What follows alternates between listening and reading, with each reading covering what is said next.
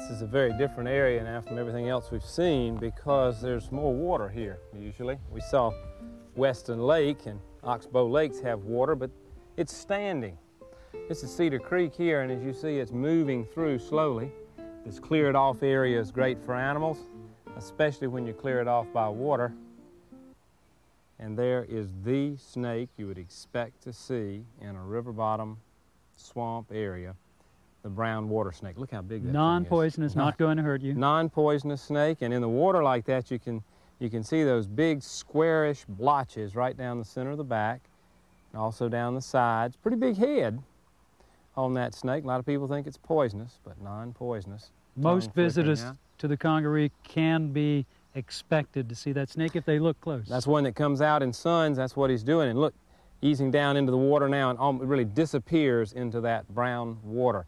It's an easy snake's name to remember because brown water snakes do like brown river bottom forest uh, swamp situations. This area being open is good for butterflies and dragonflies. Well, you say dragonfly. Look right down here and see the one with the glistening wings right down in, in uh, front of us there. Beautiful animal. Spectacular. Just emerged now. They, when the wings glisten like that, that lets you know that that one just emerged and it's drying out here. The wings are forming properly. Then it'll fly up into this open area for a while and then eventually start hunting for food. Very vulnerable now. A lot of big dragonflies feed on those recently emerged dragons Will it take mosquitoes as well? mosquitoes. It feeds on mosquitoes, and uh, it also feeds on um um, deer flies and horse flies and things that really do cause us uh, some problems every now and then. A good place for butterflies and dragonflies. And for the reptiles again too.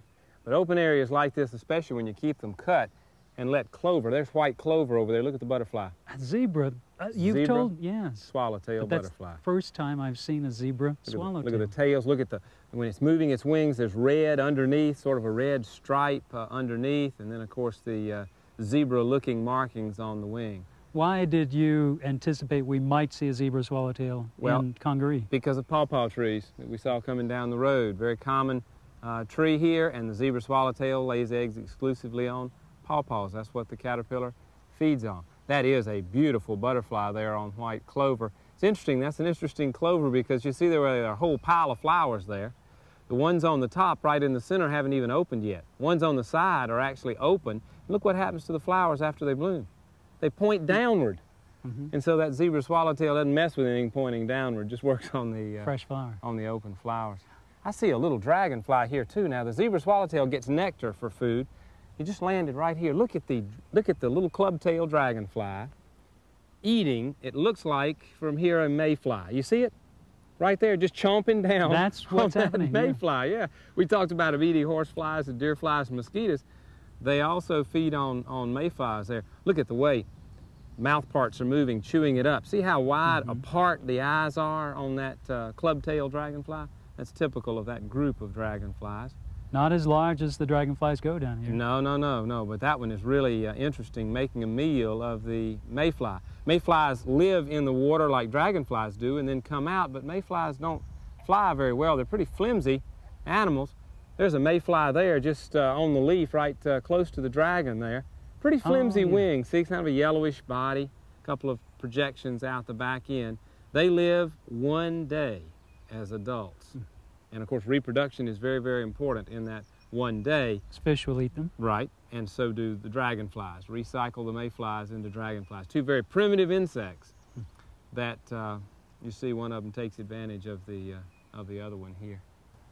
Now I find this hard to believe, talking of dragonflies. Look, look right there on the, on the uh, sumac right in front of us. See that dragonfly sitting right up there with his back Oh, end that three or dangling down? inches. A monster. And that one's usually called the hero darner. Uh, it's a big one. The abdomen looks like a darning needle to some people, and so the name darner. But the hero, it's a big one. It's one of the largest dragonflies that's found in uh, this part of the United States. Look at the, let's just get a little better view kind of on the back, Jim. But look at the, uh, look at the eyes on that thing. Bluish reflections. Uh-huh. Those are compound eyes. And these eyes now are not separated by a great distance as we saw in that clubtail. They're crammed together. And when anything moves in front of that dragonfly, it, it spots it without any problem. Now that is another uh, spectacular animal. There's so many interesting things. I saw some movement over here. Look at the, look at the hackberry butterfly that's landed right in the path down here. See it? Mhm. Right in front of us a little bit, flexing its wings. Kind of hard to see markings on that, but uh, again, coming toward that, uh, that white clover. But you can see a lot of eye spots on that wing. Caterpillar feeds only on the, uh, or almost only on the uh, hackberry trees, the sugarberry trees that we So saw a little bit earlier. Where the name comes from? That's that's Mhm. the name. A lot of times these common names connect the animal with the plant that uh, the caterpillar feeds on. That again is a beautiful butterfly, and really a common one uh, here in Congaree. Open, sunny areas bring out activity. But next to this water, Rudy, the big trees, are these cypress? Are they tupelo? All right, this again is that cypress tupelo swamp situation that we saw uh, earlier. The one over there with a really fluted base is the uh, bald cypress tree, and then the ones with the more rounded bases are the water tupelo. So we have both, and the, Yeah. the fluted gives it away, the Yeah, cypress. this is a good way to really kind of get a cross section of a cypress tupelo swamp too, and then the dark water of Cedar Creek easing on down around the bend there. Different kinds of habitats, great diversity of habitats at this place, and that what that's what you know makes it special.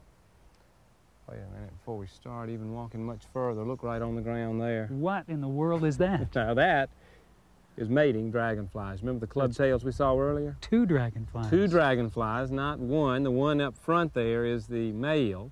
He's grabbed the female with a couple of claspers, they're called, on his uh, end of his abdomen, grabs her right behind the head, holds her in position, and then she turns her abdomen underneath his body to receive sperm.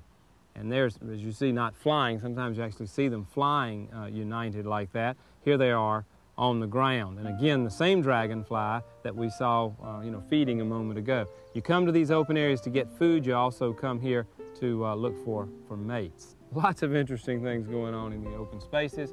But let's head back into the woods. Okay.